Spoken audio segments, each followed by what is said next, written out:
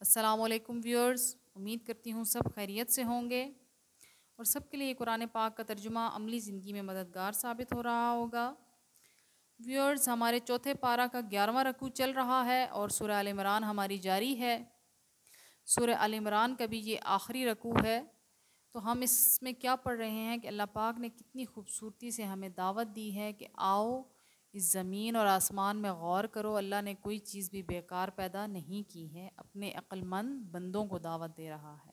यानी जो वाकई ही अल्लाह से मोहब्बत करते हैं और वाकई ही कुछ करना चाहते हैं।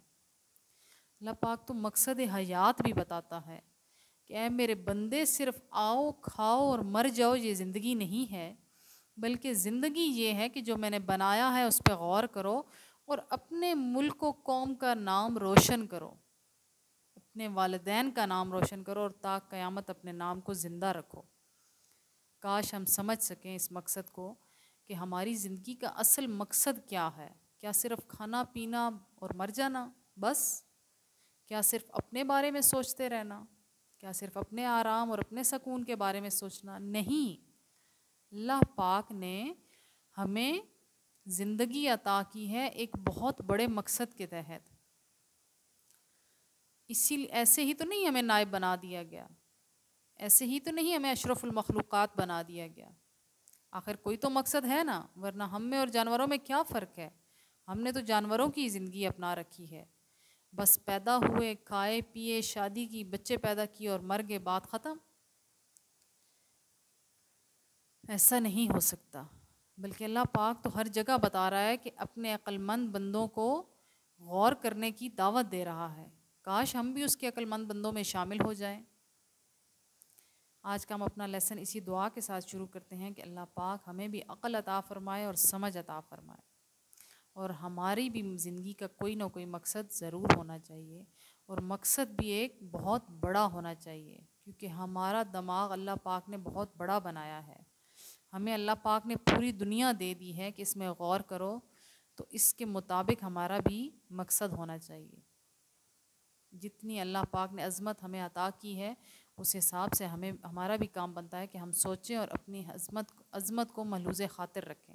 ना कि सिर्फ़ और सिर्फ़ गरूर और तकबर के लिए इसको इस्तेमाल करें, बल्कि अपने अंदर आजी पैदा करके अपने हयात को समझने की कोशिश करें, अपनी तख्लीक को समझने की कोशिश करें, इसके मकसद के पीछे गौर करें।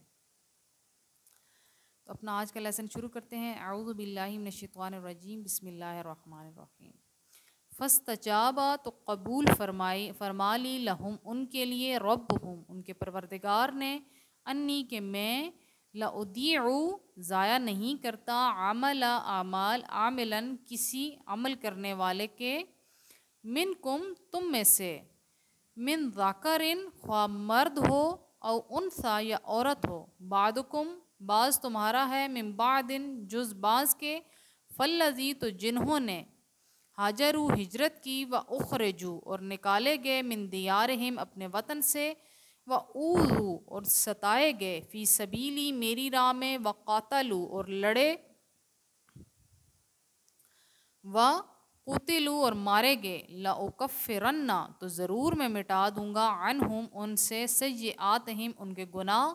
वाला उद खिलन्ना हम और ज़रूर दाखिल करूँगा उन्हें। जन्नातिन बागों में तजरी बहती हैं। मिन तख्ती हा इनके नीचे अल अनहार नहरें, सवाबन जजा है मिन आइंदिल्लाही अल्लाह के हाँ वल्लाह ताला इंदहू, इसके पास हुस्न बेहतर है।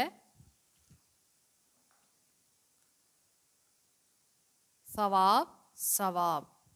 यानी अल्लाह पाक ने क्या इरशाद फरमाया कि पहले अल्लाह ने बताया कि मेरे बंदे किस तरह से गौर फ़िक्र करते हैं और फिर किस तरह से मुझसे दुआ मांगते हैं कि ए हमारे रब, हमें माफ़ फरमाना, हमारे गुनाहों को और हमें पकड़ में ना ले लेना, बल्कि जैसे तूने वादा किया था, ऐसे ही हमें माफ़ी भी अता फरमाना।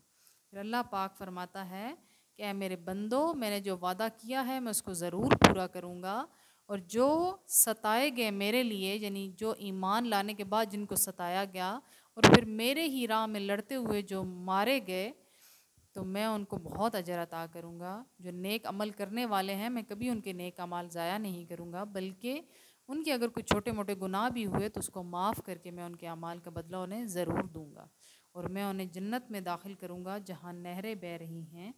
अल्लाह पाक अपने इनामात का ज़िक्र कर रहा है कि जो नेक अमल करेंगे, उनकी दुआएँ भी कबूल होती हैं और उनको जन्नतफरदोस में आला मकाम भी अता किया जाता है।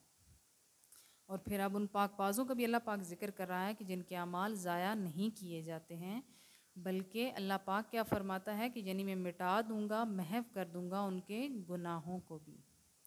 अल्लाह पाक हमारी भी मदद फरमाए और हमारे भी गुनाहों को माफ़ फरमाए। ये आज का लेसन यहाँ तक ही। नेक्स्ट इंशाल्लाह नेक्स्ट वीडियो में तब तक के लिए अल्लाह हाफिज़।